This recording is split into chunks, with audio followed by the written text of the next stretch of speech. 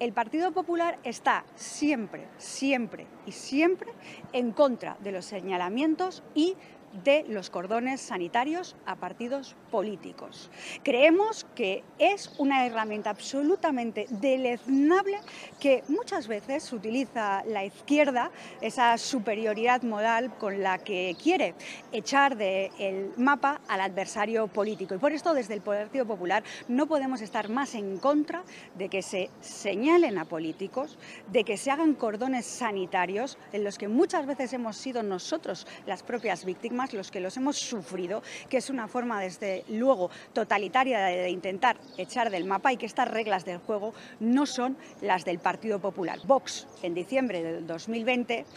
hizo una moción para declarar persona non grata al presidente del Partido Popular en Castilla-La Mancha, a Paco Núñez.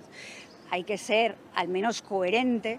en esta vida y no eh, insultar y bramar cuando le pasa a uno y luego hacer lo que le venga en gana en otras circunstancias.